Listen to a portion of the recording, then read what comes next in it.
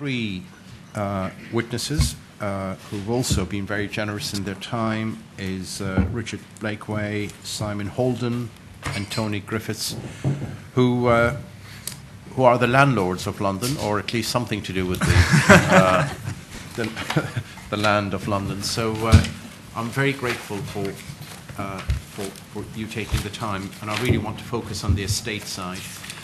You know, on one hand, people say we're sitting on a you know, huge mm. amount of state in the NHS that is not utilised uh, either for health value or in economic value. Yep.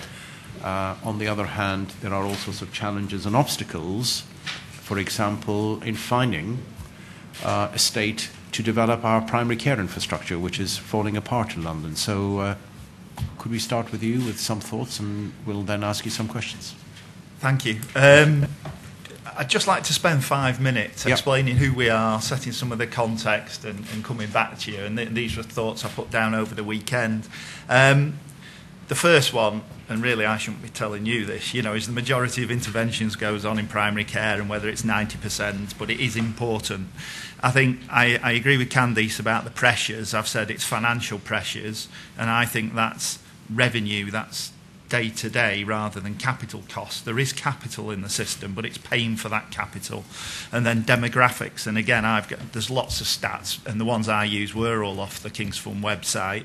Um, and then there was something in the press over the weekend about life expectancy. You know, in Wirral it's 66 for a boy, in Westminster it's 96. Now that was this Sunday's papers.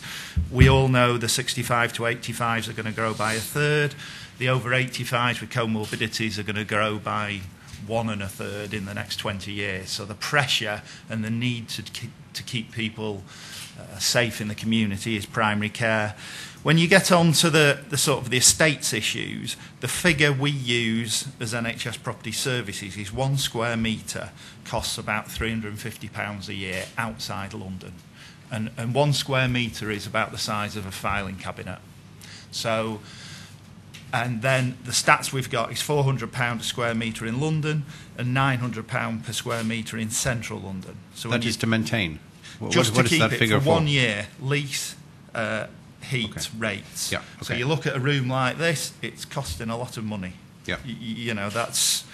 Um, I think when you get into property, um, the answer has got to be in an innovation. So whether it's working on Section 106, you know, developers passing money across, I think it's using residential and retail when we do build primary care centres to reduce the ongoing cost. You often see primary care centres, and I speak nationally rather than specifics, but with nothing above them. You know, they are an island.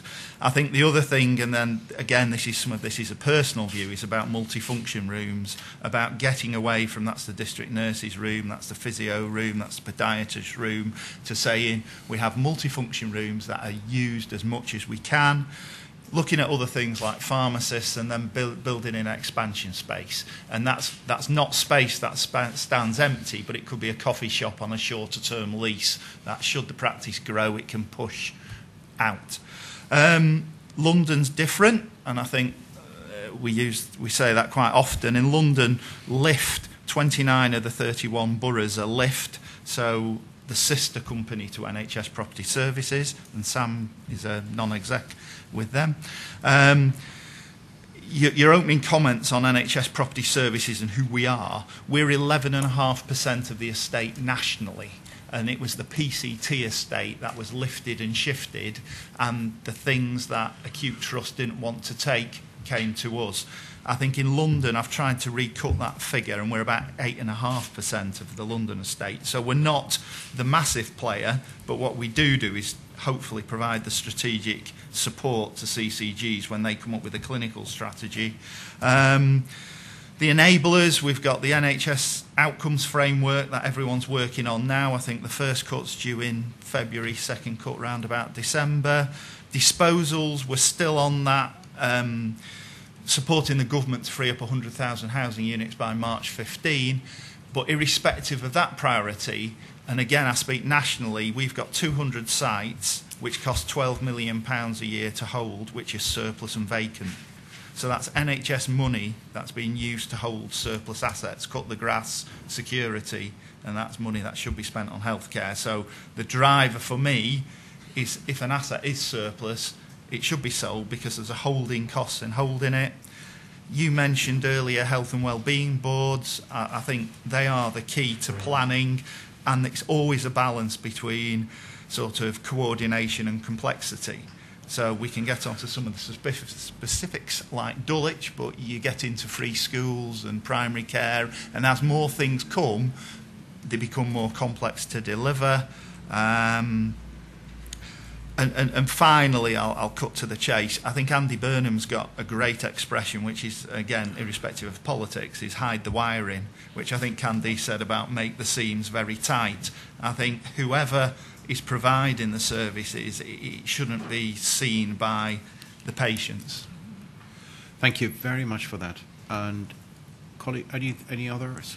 Um, can I say a few Briefly, words? Because obviously yep. I represent a different Yep. organisation, that, Yep. um, uh, the GLA, which doesn't have um, a direct um, interest in the existing NHS estate, although it has been responsible for handling the redevelopment of five um, former hospital estates um, um, across London. Um, I just want to sketch out our perspective on, on, on particularly around the disposals or, or, or the maximisation of the opportunity that NHS estates um, represent. And I think it, this is important to be seen in the context of London as a changing city. As we, as we know, with population projected of um, 10 million, it will be um, uh, there will only be two cities in Europe with a population larger, Moscow and Istanbul.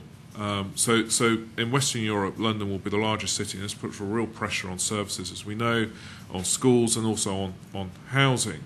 Um, and the real challenge for us, and obviously I have responsibility for housing at the GLA, the real challenge for us is to double the number of homes being built, and this is very important for our economic performance, but also for people's well-being. And, and the important thing, which isn't recognised fully is that to double housing, that doesn't mean tweaking the existing system, because the existing system will roughly deliver you half the number of homes that you need. Um, it's coming up with something entirely new. And it's absolutely right that in coming up with something entirely new, public assets are, are, are looked at, surplus public land is, is, is looked at. And um, um, the GLA is a, a, a, probably the largest public landowner in, in London, but its intention is to um, exit all of its sites or have an exit strategy for all of its sites within this mayor's current term, so by 2016.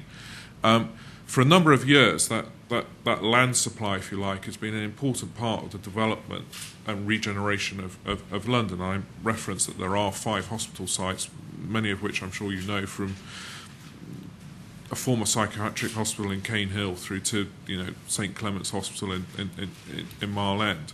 Um, so this has been an important part of the story. You, you, by 2016, it will, there will be a real challenge about well, what next? And I think there's a real frustration, sense of frustration, both on the part of the mayor and, and, and indeed government around um, the ability to get other public landowners to look at their assets, and that frustration is probably most acute, and it's no reflection of NHS property, by the way. Um, it's probably most acute with the with with the NHS, um, and I think there's a there's just a number of things which observations which I um, like to make, um, um, and, and, these are recommendations in a sense, which or, or thoughts which the Commission may want to consider.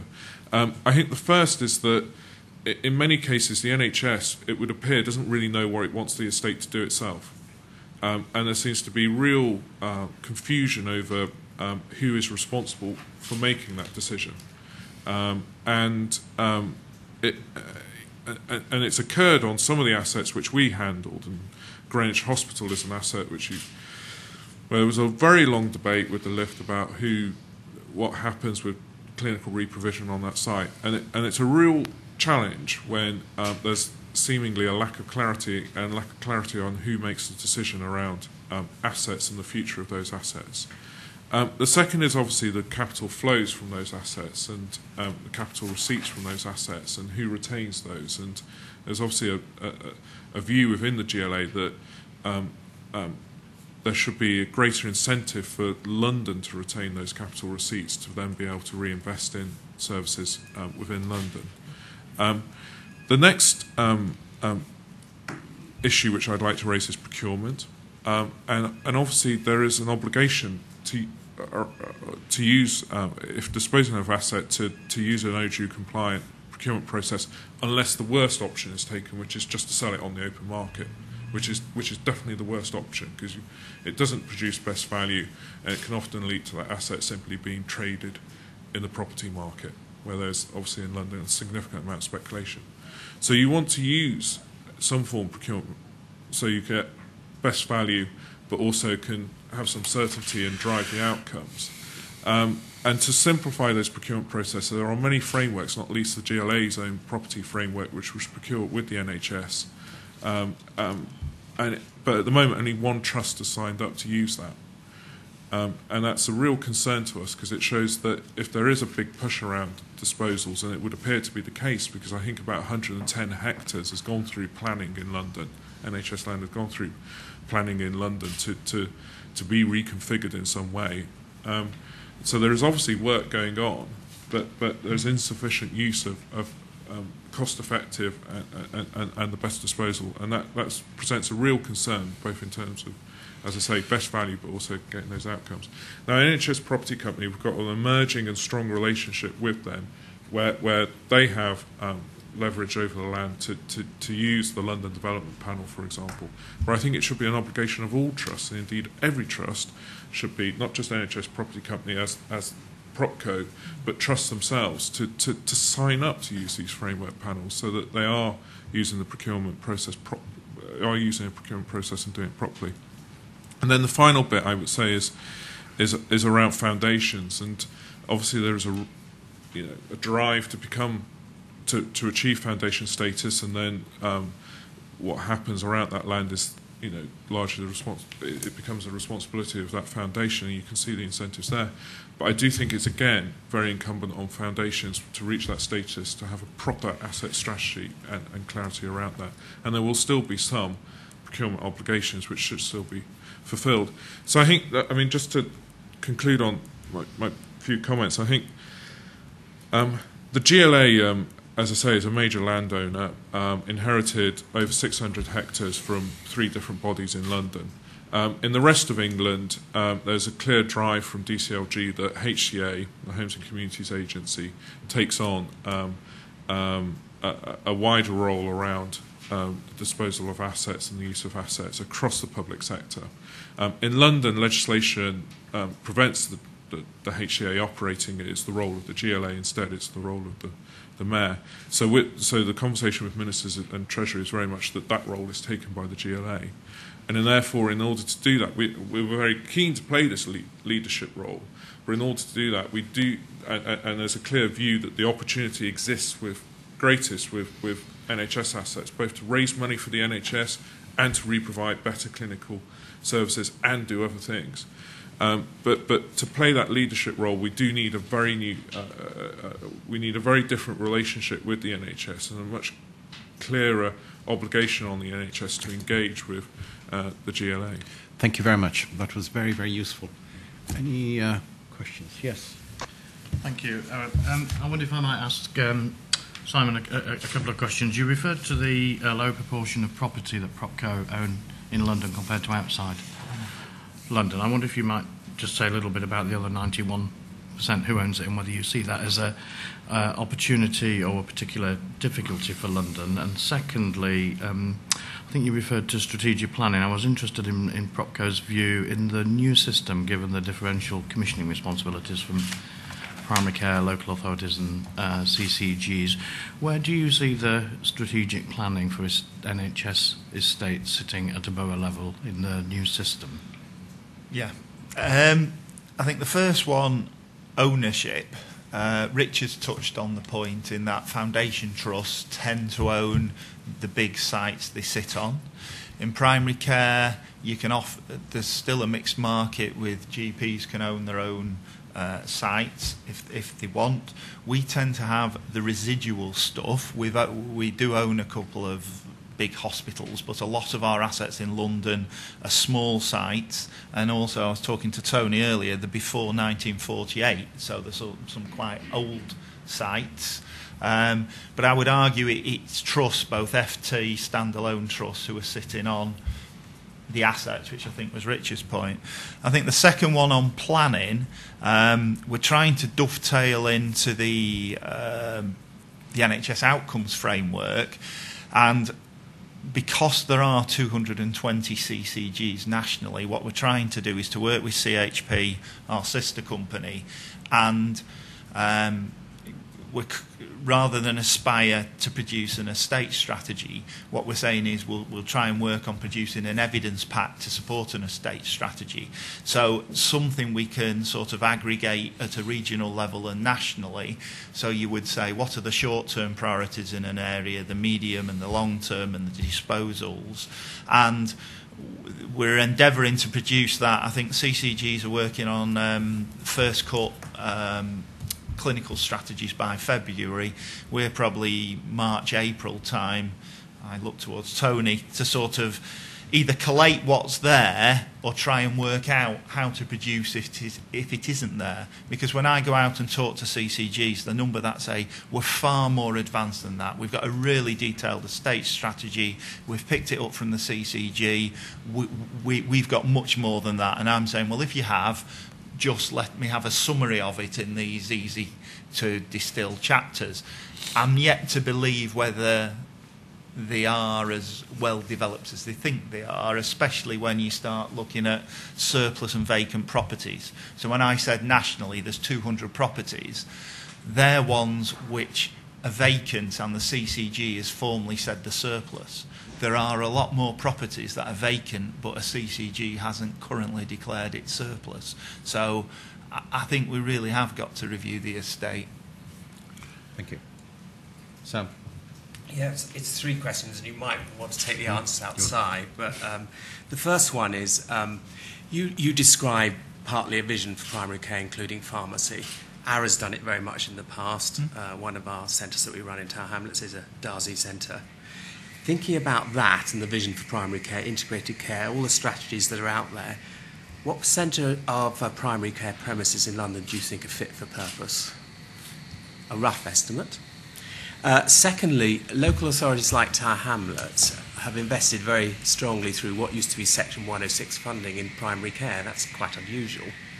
Uh, do you have a sense of how widely that is happening throughout London?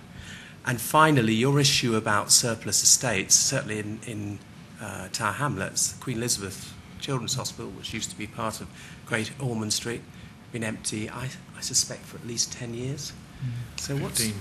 15, beg your pardon, 15 years, and security costs during that time. Uh, what do you think is the average length that these uh, properties are sitting there surplus in London?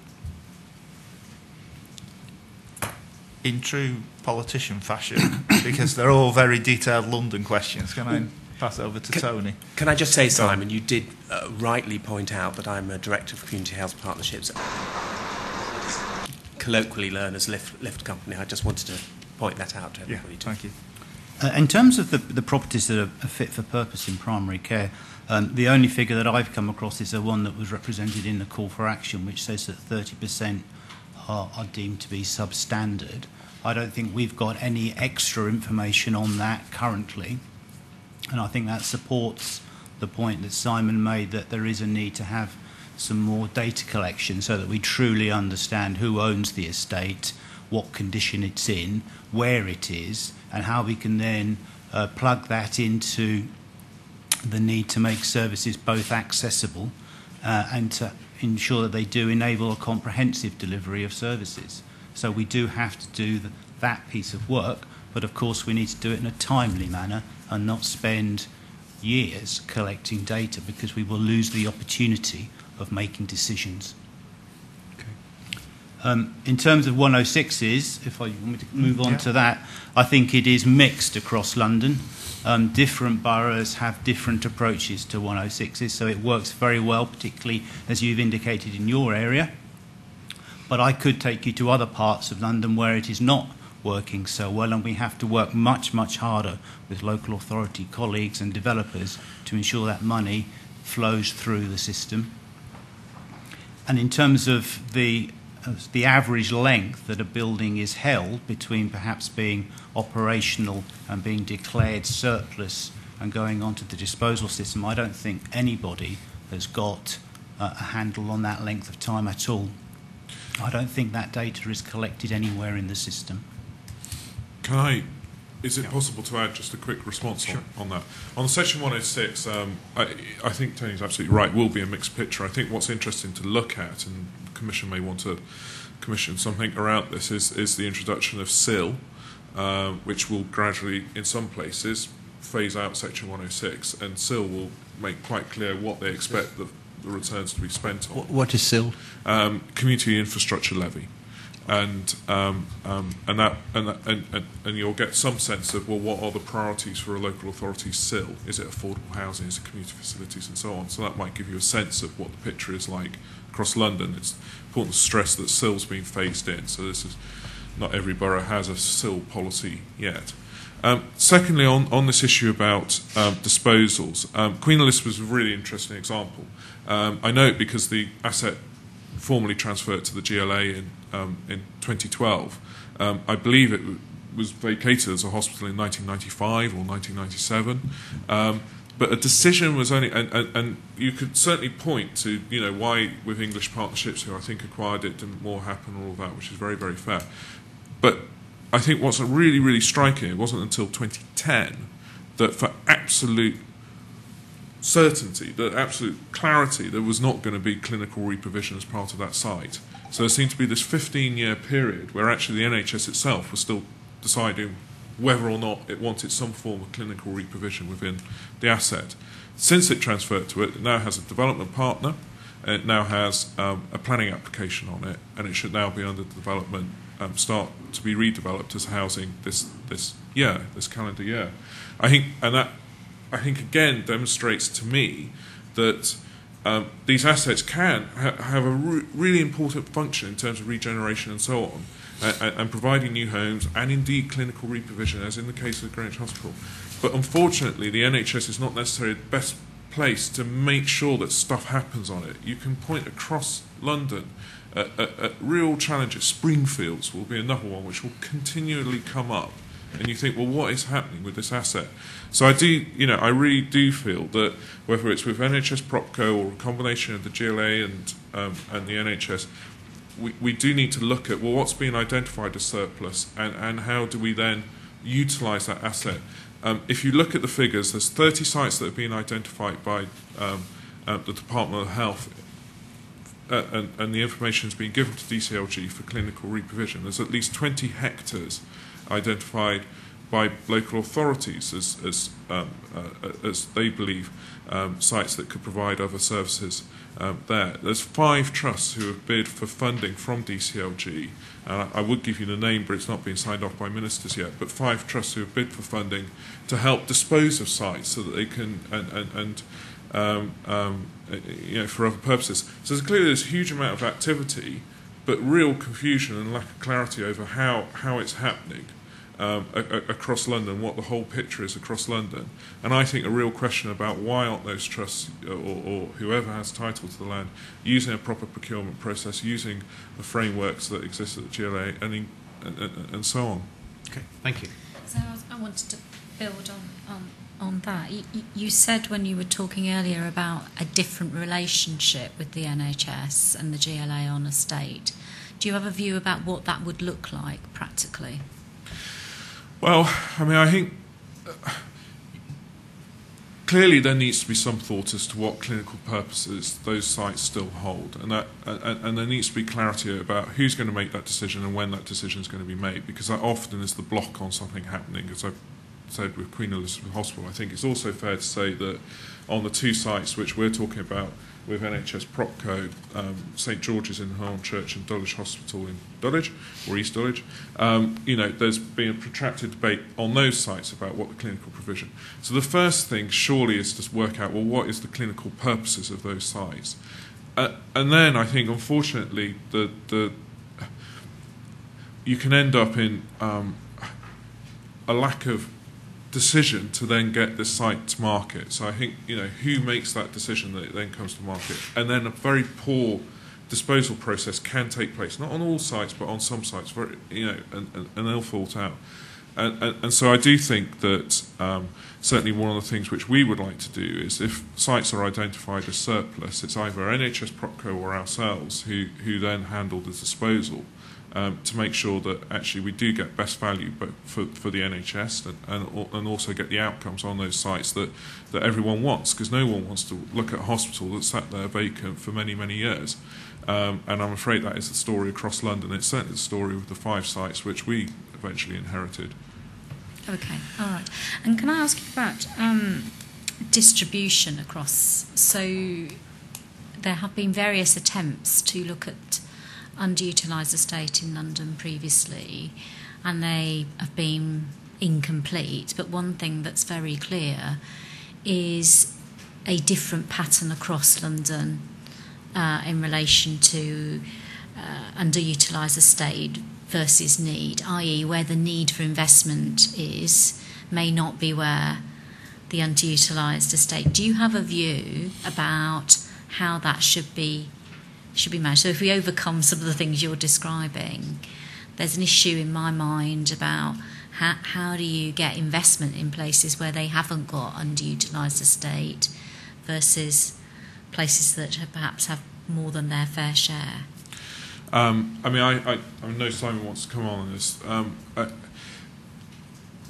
I mean, I, th- I th- it, it's probably beyond my skills to be able to say, well, how do you best use the site? The only thing I would say, though, is that there, is, if there's an issue with capital receipts returning to central government, I think not even the DOH in some cases, but um, sometimes the Treasury, Treasury. then to the Treasury, then you know, surely there is a question, therefore, about how you use those proceeds and how, uh, under a new system across Greater London, you would be able to use those proceeds from higher value areas or where there's greater surpluses to reinvest into um, facilities where there is uh, poorer provision. And I think that's something which should be looked at. I mean, I think just a slight coming back on your mm. previous question, I, you know, I mean, I certainly one of the things we're talking to government about is transferring assets from other public bodies in London to the GLA, as has happened. And I do, I am increasingly wondering whether that should be the case with NHS land as well, where it's identified as surplus.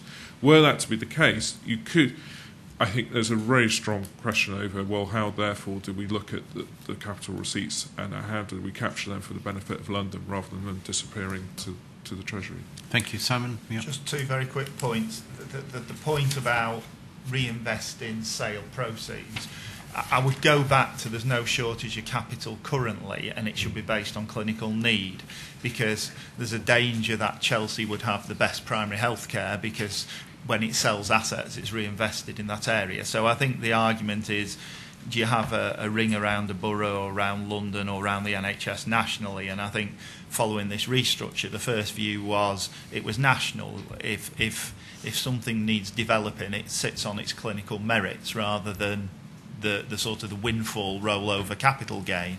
I think the second point, which to, to, to encourage people not to hold surplus and vacant assets, is to make sure the NHS picks up the cost of holding space. Yeah. And I think I can talk nationally when you say um, the deficit is coming down for the country, you've got to have the mental model that it's as if the country's on an interest only mortgage.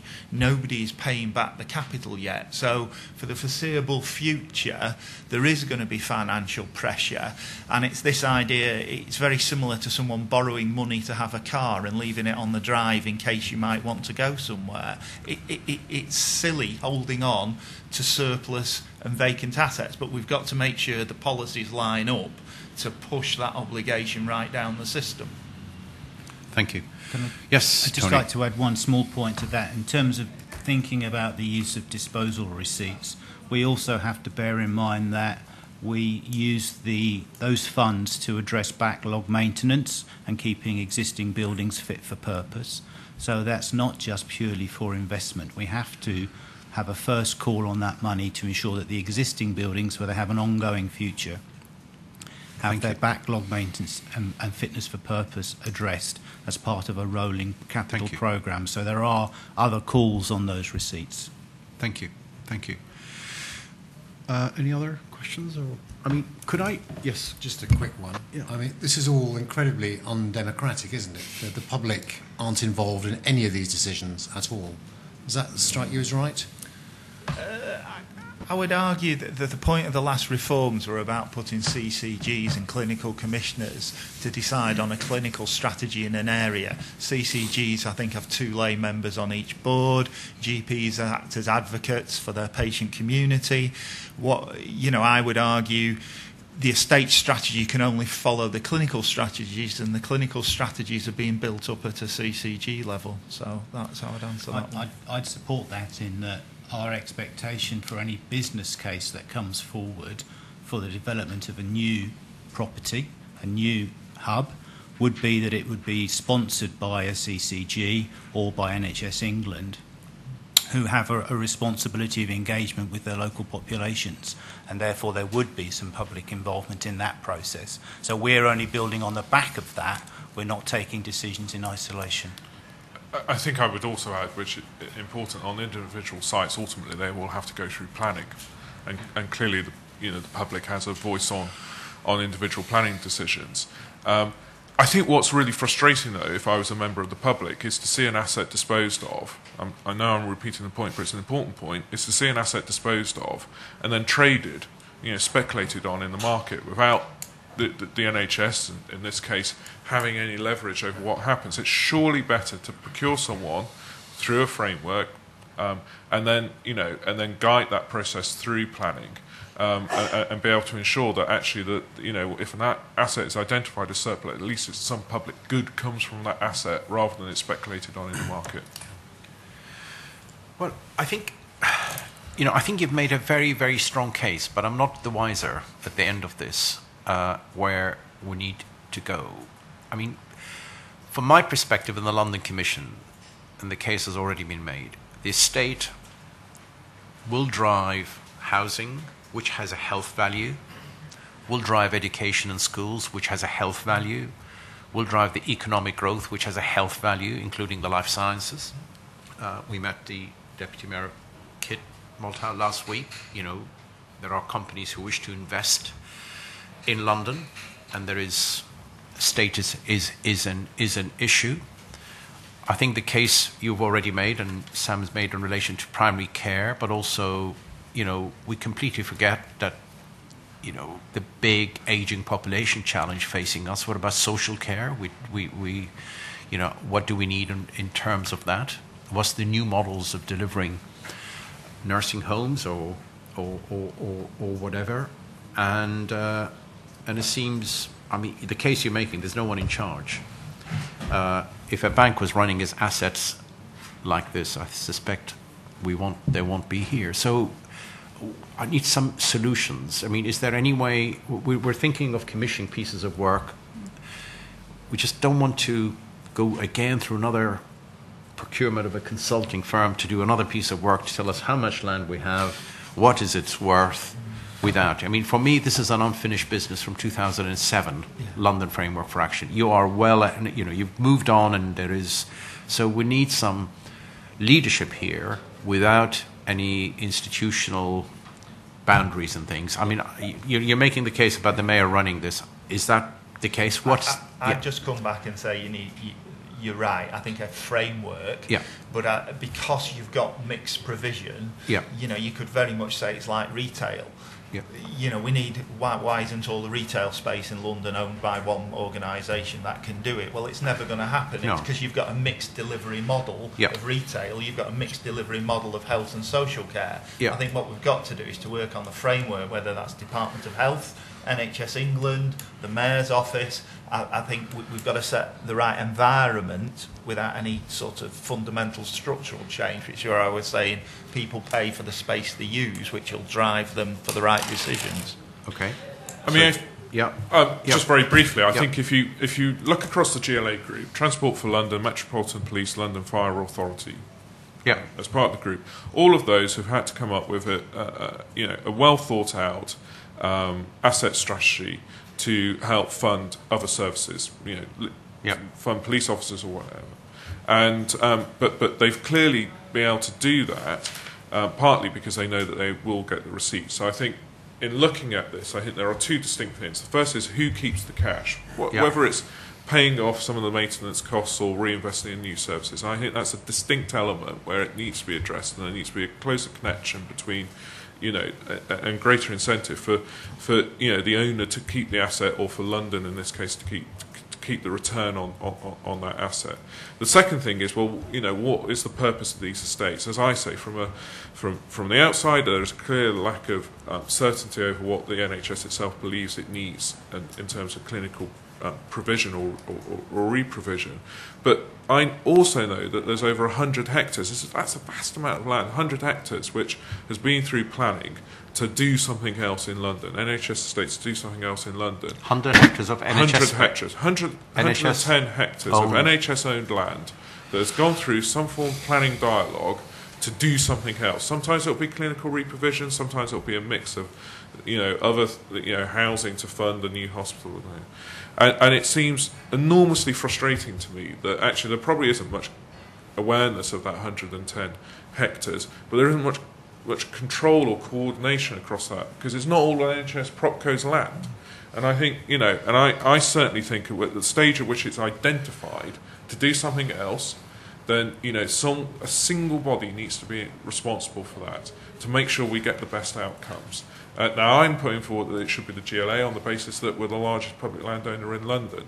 It could be a combination of the GLA and NHS Propco, but someone needs to be responsible for it, and that will bring more democratic accountability. It will bring more coordination. It will also bring better outcomes, because at the moment, I know from that list of 110 hectares, there are sites on there where it's becoming almost a running joke that they keep reappearing, and you know plans keep changing on them, um, and, and, and, and, and, and frankly, there's a real risk that um, you know in the end they'll just be disposed of at, at poor value um, and, and, and not um, create the benefits that we'd want from them. Okay, thank you. Do you want to add something? I, I take Richard's point entirely about the need for more work around receipts. It's a major lack of incentives or a block in the system, so I think that's really helpful and we'll take that away. I wanted just to pick up on the retail analogy and the issue of, of who's in charge. It struck me that if Simon and Tony were from Tesco um, or Waitrose, um, it wouldn't be an unreasonable question to ask one of the largest organisations in the world, what estate have you got in London, um, who owns it, and what condition is it in? Uh, but it appears to me we're not able to answer Yeah, but they don't have empty shops those basic. lying around. Tes- Tesco's a good analogy because we where we've got 30 million square feet nationally, which is about the same size as Tesco. But if, if you've if they've got bigger stores than we have. But if you looked in the papers over the weekend, um, there's some bidders reckoning Tesco and Morrison's don't use their property. Um, to the best, uh, you know, shareholders are driving Tesco's and Morrison's to come up with another strategy about how they use their property. So that was an interesting debate in the Sunday papers. So. Just, just a small point to come back to Mr. Ridley on, on, on that one about the, the condition and the number of NHS property services assets in London. We do have that information for our estate. The point I was making earlier is it's a wider estate. We don't know how many GP owned properties are out there. I don't know if anybody knows how many GP owned properties are out there. And we do need to don't bring that consider all together. You don't one- consider that as NHS space. This GP privately owned space is no different than Tesco's. It's just they're on primary care services there. Do you think that should be part of the NHS estate? I think we need I'm to just count being- it yeah, so that we can owner, work out how yeah. services can be delivered in the most effective way. Okay. So we need to understand where it is and what value it adds into the system Yeah. so that we can take informed decisions as we go forward. Okay. Thank you. And you I wanna just finish? wanted to clarify that I think we're saying there's there's two two solutions being put forward. One is about creating some form of entity, either GLA or a joint venture of some kind, to provide single leadership to estate strategy in London for healthcare. So that's one approach, and I think the approach you were saying, Simon, was about. Uh, not having a structural uh, uh, solution, but getting the incentives right. Am I, am I Yeah. saying that? And, and are you, would you, your view be that a single entity is not required or wouldn't be I- I- helpful? I- it, it's, it's how practically, given the complexities, we could get there. So you've got Monitor running Foundation Trust, you've got the NHS TDA running Aspirant Trusts, you've got GPs, you've got Lift, you've got NHS Property Services, you've got surplus land. I'm just trying to think what is what is the first step along either you know if you could do both solutions great if you could you know it's a case of trying to unlock the complex problem rich has outlined you, you know I mean, I certainly think, you know, given that whole list of organisations who have some sort of say, I mean, that needs, whatever happens, that even if the title of the land doesn't transfer to a new entity or a different entity, that needs to be simplified.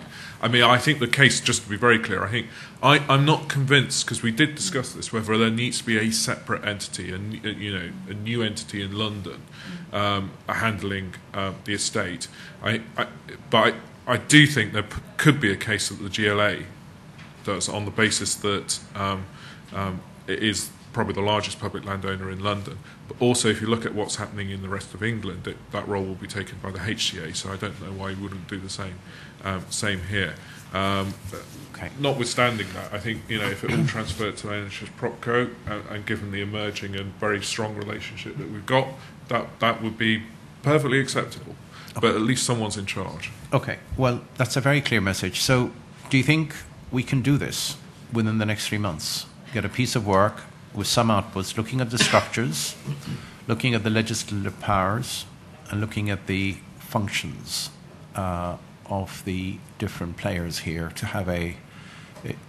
You know, I think what Tony says is right. You have, you, you know, more or less what's out there, with the exception of primary care.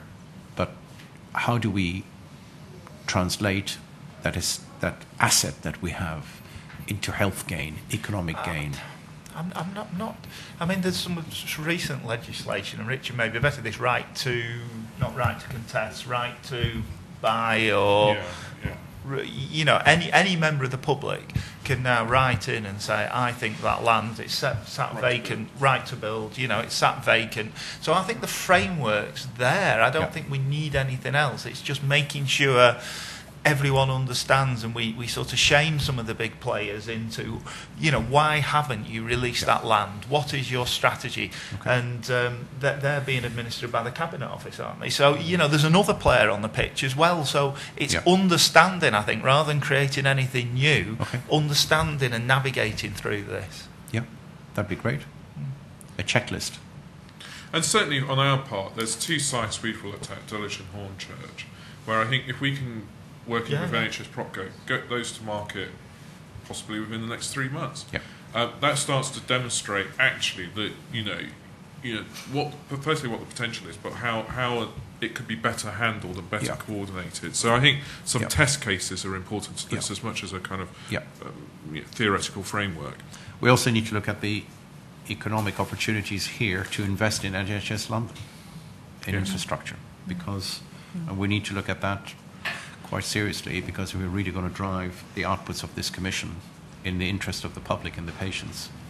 We need some cash reinvested in the in London's healthcare. So on that note, so can I get our Jacob West, who's sitting in the audience here, to try and see whether we can organise a further meeting and mm. really go through what are the next steps Sure. before we end up doing another, as I said, you know, consulting a piece of work without mm. without really knowing what the questions are to get the right answers. Yeah. So I'm very grateful for your time. Thank you. Thank you. Thank you. Thank you for being so open and honest and and uh, and uh, you know telling us exactly what's wrong. Thank you. Thank you. Thanks.